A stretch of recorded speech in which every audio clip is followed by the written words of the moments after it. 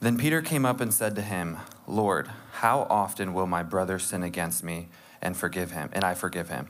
As many as seven times? Jesus said to him, I do not say to you seven times, but seventy seven times.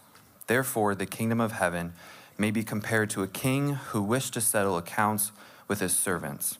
When he began to settle, one was brought to him who owed him 10,000 talents.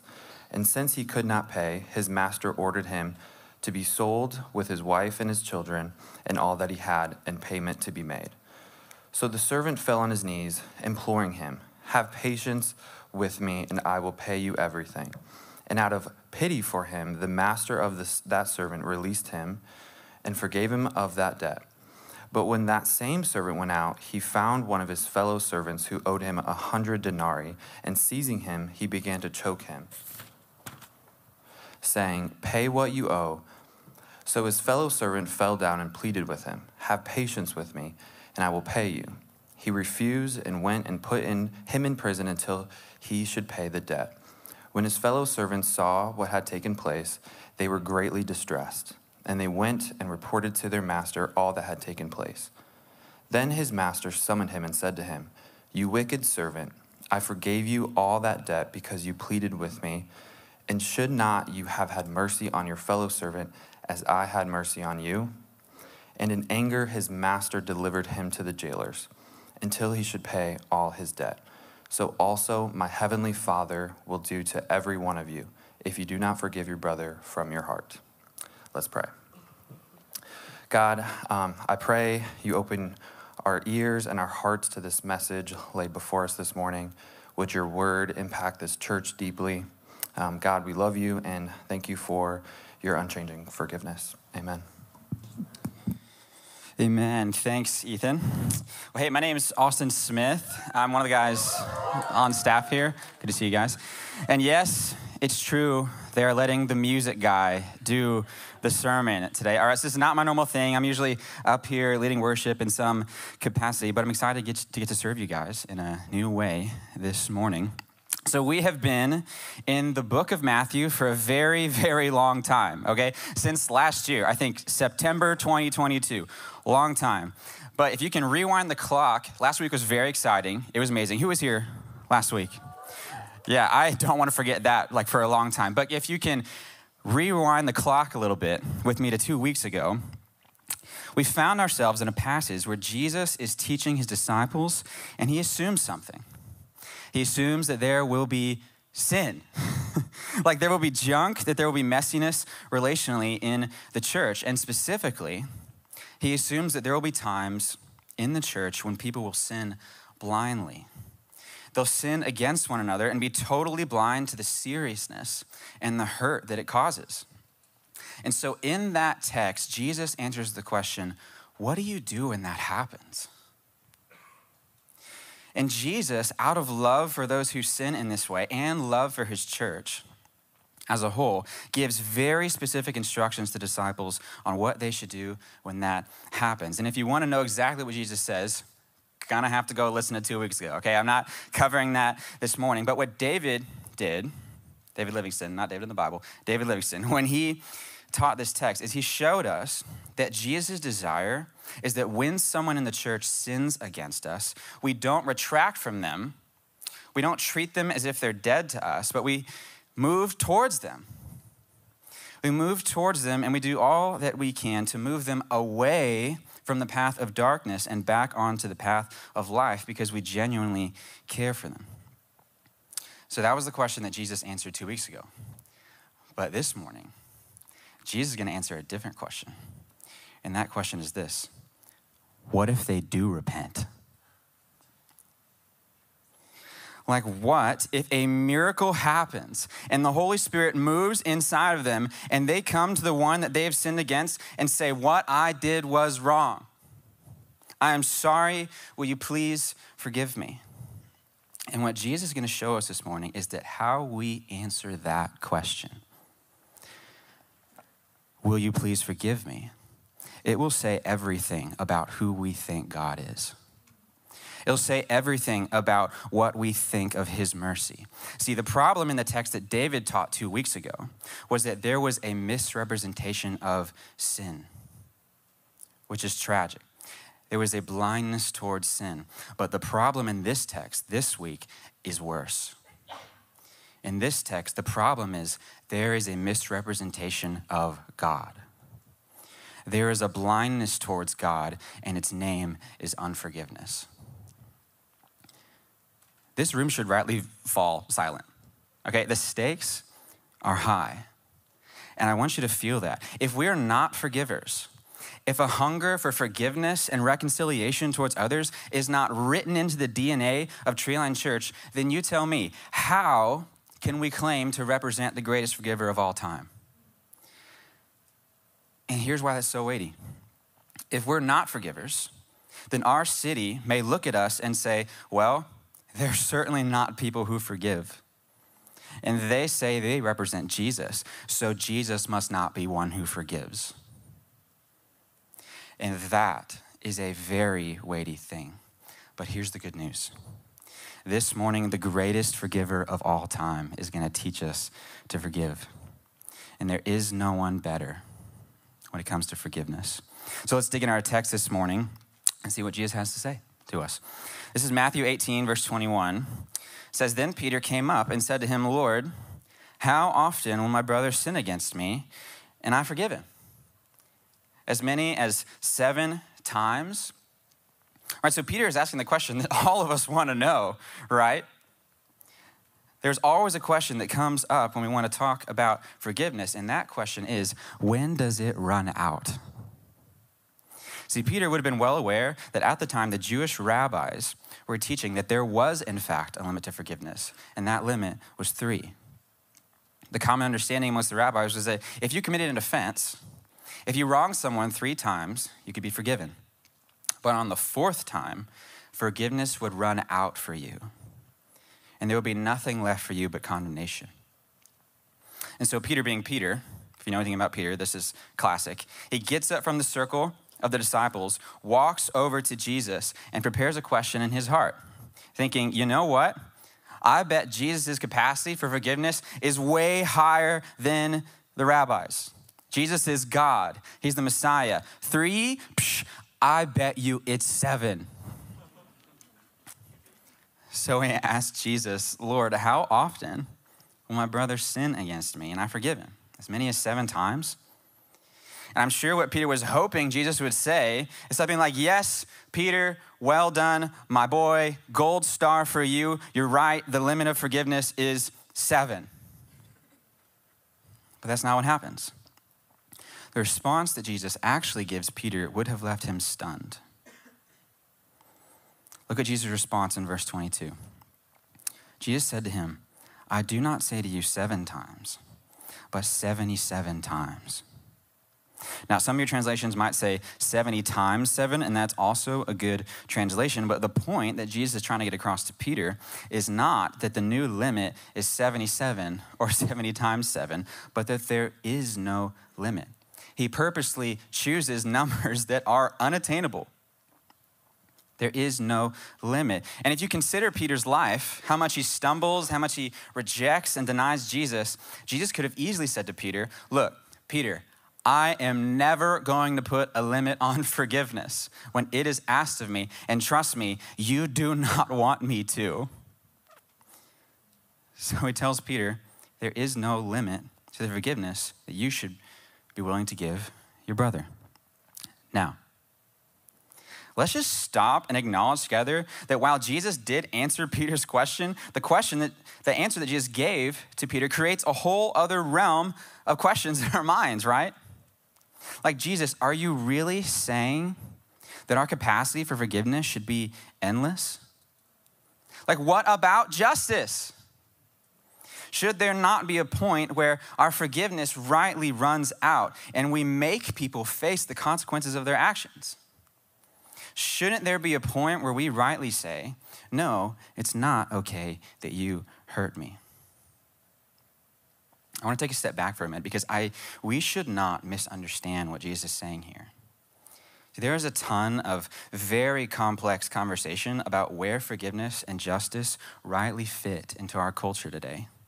And I don't want to let that very complex conversation distort for you what Jesus is saying here. See, we live in a day where our culture has decided that where forgiveness exists, justice cannot. In fact, our culture has said that if we want justice, there can be no forgiveness. There must be vengeance. You've got to stay mad. And we've decided that forgiveness should be thrown out the window entirely in the name of justice, and that if justice is to prevail, then forgiveness must die. Now, before you say amen, down with our culture in your heart, one of the reasons why our culture has swung so far this way, saying if justice is to prevail, then forgiveness must die, is because we have done a terrible job at upholding justice. In a lot of ways, we have done a terrible job upholding justice, yes, in our country, but I want to bring this even closer to home. In a lot of ways, we have done a terrible job upholding justice in our churches. In many churches, not all, but many, we have withheld justice in the name of forgiveness. In some churches, we have told victims of abuse that they need to forgive and forget. There are churches that tragically have used forgiveness as a shield for abusers and swept abuse under the rug in order to protect the powerful, shame the abused, and silence those who are hurting. And listen, if you have been hurt in, by the church in this way, if that's you this morning, if you are here and you have had your abuse, your neglect, or abandonment swept under the rug in the name of forgiveness by any church, you need to know that that may be their twisted understanding of what forgiveness is, but it is not God's. See, God loves justice and forgiveness, both. The idea that we must choose between forgiveness and justice, the idea that we cannot have both together, the idea that they are mutually exclusive is completely and utterly foreign to the Bible. And if we just examine God's heart through His Word, we can see that God's heart is actually burning with a desire for forgiveness and justice. Look at Exodus 34, 6 through 7. It says, The Lord passed before him and proclaimed, the Lord, the Lord, a God merciful and gracious, slow to anger and abounding in steadfast love and faithfulness, keeping steadfast love for thousands, forgiving iniquity and transgression and sin, but who will by no means clear the guilty. See, God's forgiveness does not say that wrong is not wrong. In fact, the opposite is true. God's forgiveness is so powerful because he says that wrong is absolutely wrong. He stares it in the face, calls it what it is, and then says, I forgive you. And the greatest way that we can see this reality is in the cross. On the cross, we can, at the same moment, see the greatest act of forgiveness of all time and the greatest moment of justice of all time Jesus takes the cup of God's wrath that is meant for you and for me, calls our sin and our rebellion what it is, and then takes the punishment for all of it on the cross in our place. And he says, Father, forgive them, for they know not what they do. If we just look at the cross, we can see that Jesus loves both forgiveness and justice. And that's the kind of forgiveness that Jesus is talking about in this text. Jesus is the king of forgiveness and justice. He wants both. So now that we've cleared the fog a little bit, now that we have some biblical clarity on what Jesus means when he says forgiveness, let's look at what he says next. Look at verse 23. Says, Therefore, the kingdom of heaven may be compared to a king who wished to settle accounts with his servants. And when he began to settle, one was brought to him who owed him 10,000 talents. Now, when I first was studying this text and I saw the words 10,000 talents, I thought, okay, that is obviously a lot, but I would love to know just how much that is because we don't use the term talent anymore today. So then I noticed there's a footnote next to the word talent, and I look down and I find the footnote at the bottom of the page, and it says this A talent was a monetary unit worth about 20 years' wages for a laborer. So I, got, so I thought, okay, let's see if I can just figure this out. Let's see if I can figure out a conservative estimation of what that amount would be in our day. Let's just say I work at Chick fil A and I make $15 an hour. If I make $15 an hour, some of you math wizards are going to be doing this as I say this. That's fine. Go ahead, check my math. if I make $15 an hour, I work eight hours per day, five days a week, and I work all 52 weeks out of the year. Then, before any deductions, I would make $31,200. But a talent was worth 20 years worth of wages for a laborer.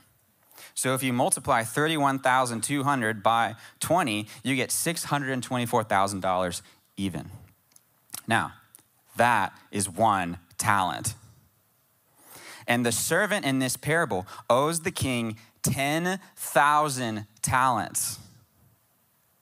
So, what do you get if you multiply 624,000 by 10,000? $6.24 billion. The servant, in modern terms, owes the king $6.24 billion. So the question that's in our minds is how in the world is that possible? $6.24 billion. Like, there is no way that this servant could have amassed a debt so huge.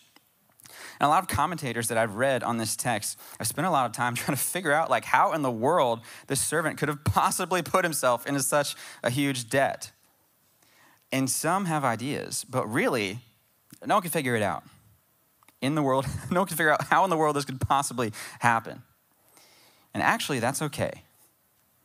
Because what exactly the servant did to get himself in a debt is not really the point. In fact, Jesus doesn't mention it at all. All that Jesus says is that the servant owes the king an astronomical debt. Now remember, Jesus is not telling Peter this parable just to tell him a story. Jesus is telling Peter this parable because he wants to teach Peter something about the kingdom of God. He's saying, Look, Peter, just like this servant owes his king an astronomical debt, you owe God, your king, an astronomical debt. And listen, what Jesus is teaching Peter also applies to you and to me we owe our King, God, an incredible debt.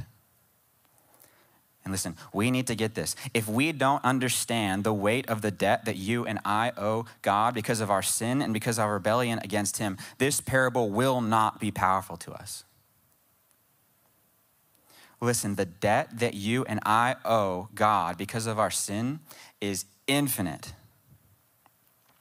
And maybe you're here this morning and you're thinking to yourself, well, I really don't think that my debt towards God is infinite. Like, I haven't sinned an infinite amount of times. Like, I really haven't done a whole lot of bad things in my life. Sure, maybe I've lied, maybe I've been prideful at times, or maybe I've treated people poorly at times, but I really haven't done anything all that bad.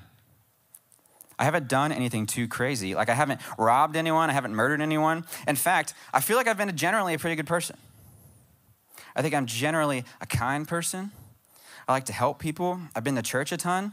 Like, I really don't think that I've racked up a huge debt towards God because of my sin, because I haven't sinned infinite times.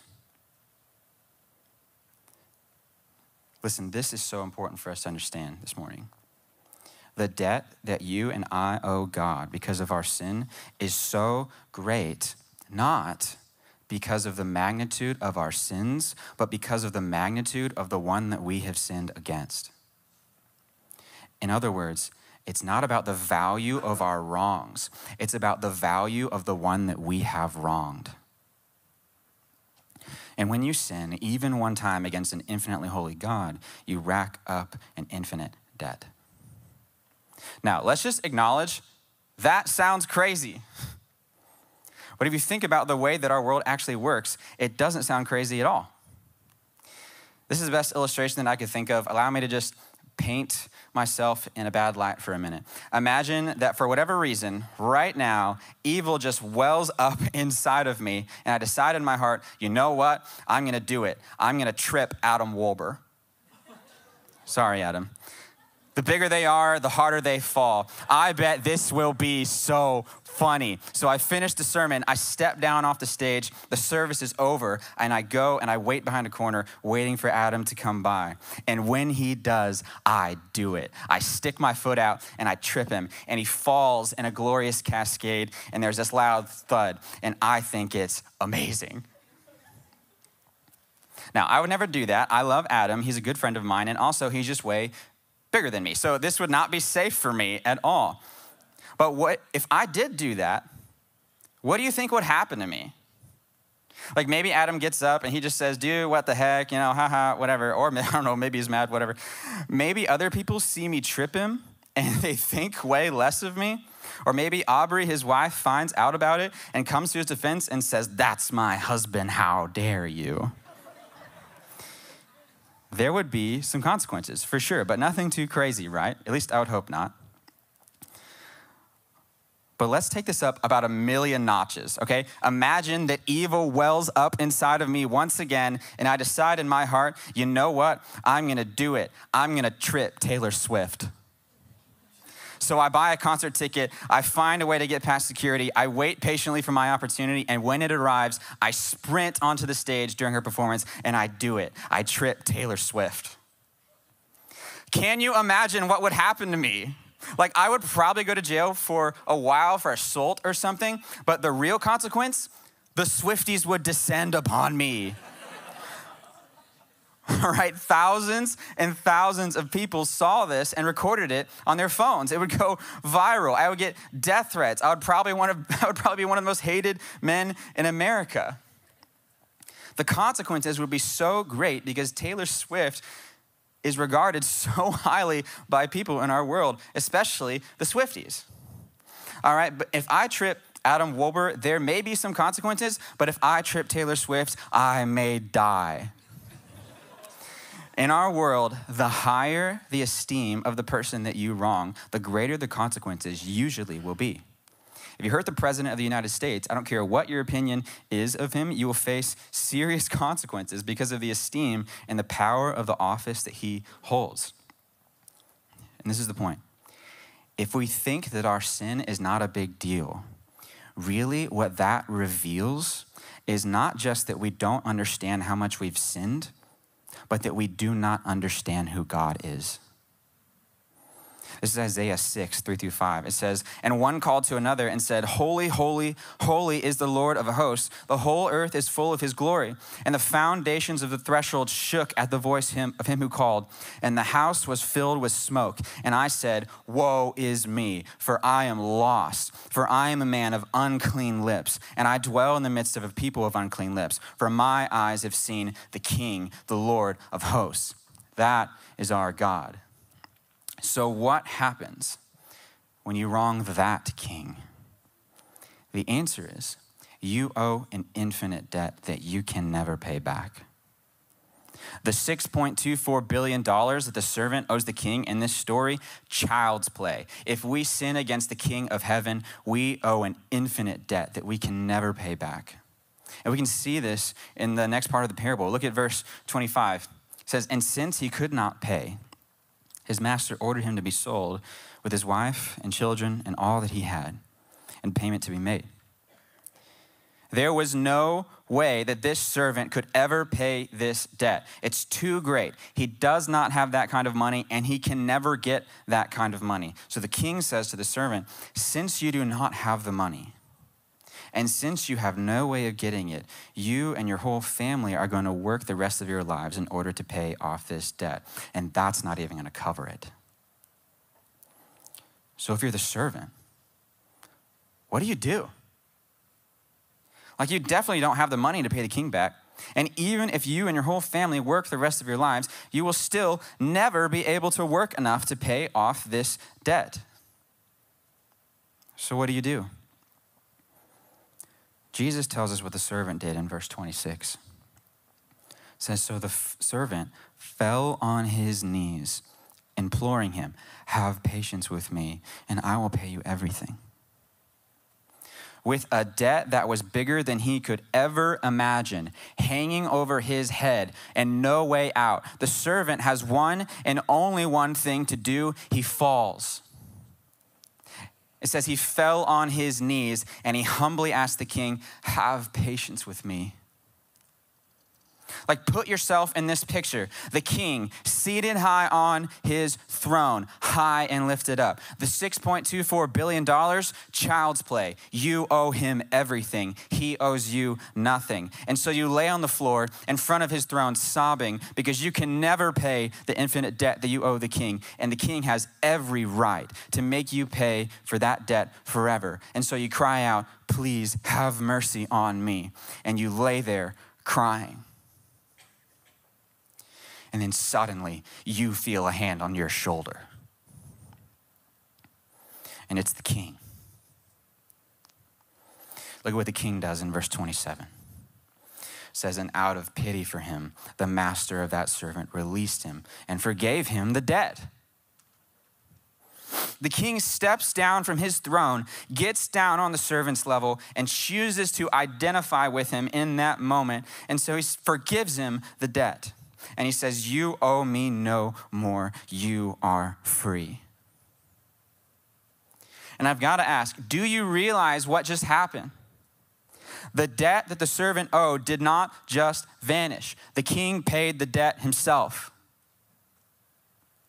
When you owe a debt to someone and they cancel the debt, it does not mean that the debt just vanishes into thin air. It means someone else paid the debt instead of you. This is incredible. Remember how much the servant owed the king? Like, what could possibly cause the king to absorb the debt that this servant owes? It is crazy. And the answer? Something happens to the heart of a king. We can see this happen at the beginning of the verse that we just read. It says, Out of pity for him, the king released him and forgave him the debt. And the Greek word that is translated as pity here literally means to have your heart go out, to identify with them. In other words, the king, in the deepest way possible, was moved with compassion and mercy. Now, to the Christian in the room, do you realize that this is your life? Like you're the servant. You owed God a debt that you could never pay back, no matter how hard you tried, because you sinned against an infinitely holy God. And you didn't just sin once, but you sinned over and over and over again your entire life. And then one day, God, in his kindness, revealed to you how great the debt was that you owed because of your sin and you put your faith in Jesus. And with your face on the floor, you said, Have mercy on me. And then Jesus, the king, steps down from his throne and said, You're not going to pay anything. I am going to pay all of it. And he did not just pay with anything, he paid with his life. This is why Jesus Christ is the greatest forgiver of all time. Instead of making us pay the astronomical debts that we owe because of our sin, he pays our debts himself on the cross. And that is what forgiveness is. Forgiveness is not just emotionally moving on from hurt. No, to forgive is to look at the debt that someone owes you. And not just a monetary debt, but an emotional debt a social debt, a moral debt. It's to look at the debt square in the face, be moved with compassion for them, and then instead of making them pay the debt, you pay the debt yourself. You forgive them. Now, forgiveness is found in an abundance in the heart of Jesus. But as we're going to see in the ending of this story, the tragedy with our hearts is that sometimes, even when we have tasted and seen this beautiful, beautiful forgiveness, it doesn't light our hearts with a burning passion that wants to forgive others, but our hearts stay cold. Our hearts stay dark, cold, and unforgiving. And we can see this tragic reality play out in the rest of the story. The story does not end well. Look at verse 28. It says, But when that same servant went out, he found one of his fellow servants who owed him a hundred denarii. And seizing him, he began to choke him, saying, Pay what you owe. So his fellow servant fell down and pleaded with him, Have patience with me, and I will pay you. He refused and went and put him in prison until he should pay the debt. The servant who has just been forgiven an incredible debt and has been shown incredible mercy by the king should now go and be like this merciful king but he doesn't. He acts like an evil king.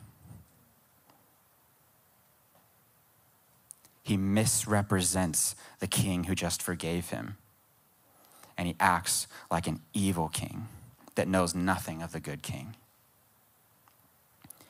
He goes to his fellow servant who owes him only a hundred denarii, which is pennies on the dollar compared to what this servant owed the merciful king and he physically chokes him and says, Pay what you owe.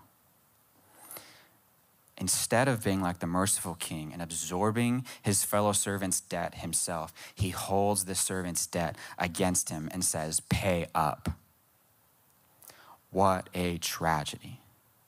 What a tragedy that this servant's heart was not utterly changed by the forgiveness that he had received. See, there are two subtle yet dangerous things that this servant does that leads him to having an unforgiving heart that is unchanged.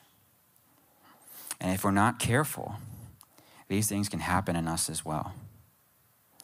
And I want to show you these two things. I want to show you two things that we can see happening in the servant's heart. And we'll call them two easy ways to be an unforgiving person. All right, these are important to write down if you're taking notes. Number one, how to be an unforgiving person. Exclude your offenders from the community of humans and exclude yourself from the community of sinners. I'll say it again exclude your offenders from the community of humans and exclude yourself from the community of sinners. When we don't want to forgive someone, one of the things that we do, one of the things the servant did, is we choose to see them only how we want to see them. All that we want to think about and remember are the worst parts about them. All that you want to do is think of this person as someone who's wronged me. We want to caricature them. Have you ever had a caricature drawn of you at the fair? You sit down and they draw a picture of you and they emphasize your features that are the most obvious in the moment, right? I got a big forehead. Forehead. If I sat down, they'd probably draw me with a big forehead. I would, I would hate the picture. But that is what a caricature artist does. And when you don't want to forgive someone, this is what you do you replay their offense to you over and over and over again until their offense is so huge in your mind that you are no longer able to see anything but the offense. They're no longer a human being made in the image of God to you. All that they are is what they've done to you. So you exclude them from the community of humans who are made in the image of God and just as worthy of honor and dignity as you are. But then, in the same breath, you exclude yourself from the community of sinners. Listen, if you want to remain an unforgiving person, refuse to identify with your offender. Forget all the times that you have hurt someone. Remember no more the times that you have offended people. If you want to be someone who is unforgiving, exclude your offenders from the community of humans, but then in the same breath, exclude yourself from the community of sinners. So, if you want to remain an unforgiving person, do those things. But how do we be forgiving?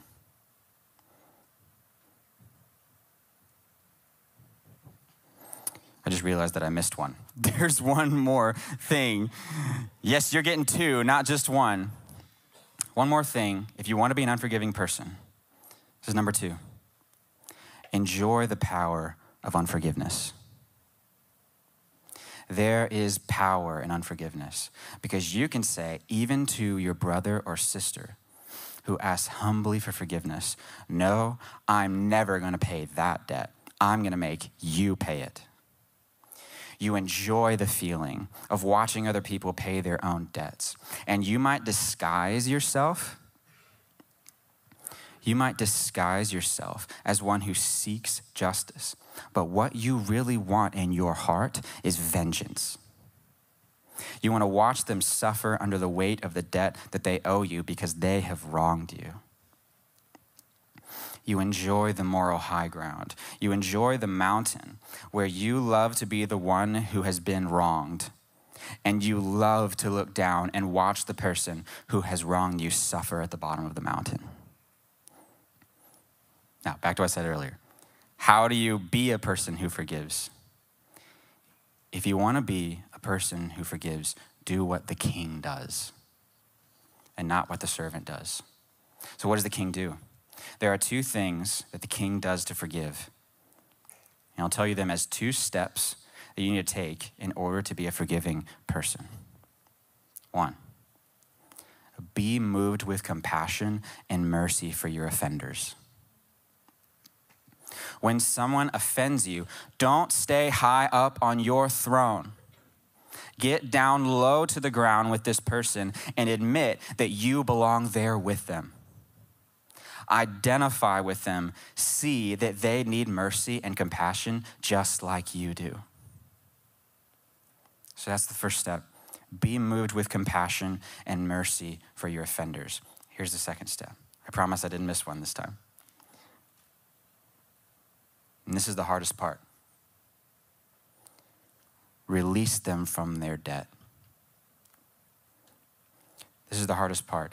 Instead of holding this debt against them for how they've wronged you, instead of saying, pay what you owe, look at this person and say, you are free. You're not going to pay this debt, I am. Listen, this is why forgiveness is so hard because to forgive is to suffer. To forgive someone means that you must willingly suffer instead of them. You pay their debt yourself. You remember the cross, where Jesus, instead of saying, pay what you owe, says, You are not going to pay that debt, I am. And he pays for your infinite debt in full with his life. And if you are unable to remember how Jesus paid that debt for you, and you remain with a cold, unforgiving heart towards others, you need to seriously ask yourself this question Do you actually know this king? do you actually know Jesus? Because how can you not be changed by the greatest forgiver of all time when he pays your debt for you? And the story of this parable ends grimly. Finally, let's look at how this verse ends in verse 31. It says, When his fellow servants saw what he had taken place, they were greatly distressed, and they went and reported to their master all that had taken place. Then his master summoned him and said to him, You wicked servant, I forgave you all that debt because you pleaded with me. And should not you have had mercy on your fellow servant as I had mercy on you? And in anger, his master delivered him to the jailers until he should pay his debt. And look at what he says next. Jesus has finished the parable, and he tells Peter this So also, my heavenly Father will do to every one of you if you do not forgive your brother from your heart. This is a scary passage. Listen, the point of the ending of this text is not just that the servant did not forgive, but that he still had an unforgiving heart. And because he was unwilling to extend to his fellow servant the mercy that the king had extended to him, it revealed that he had never actually opened his heart to the king's mercy in the first place. And instead of becoming like a merciful king, he became like an evil king. Treeline, may that not be true of us. If we say we know the good king, we must be like him, not evil kings. Let the forgiveness and the mercy of the good king turn our hearts into storehouses of mercy and forgiveness for those who wrong us. And when someone owes us a debt, let us forgive them and pay their debts ourselves because the gospel compels us to. It's what our good King has done for us. Let's pray.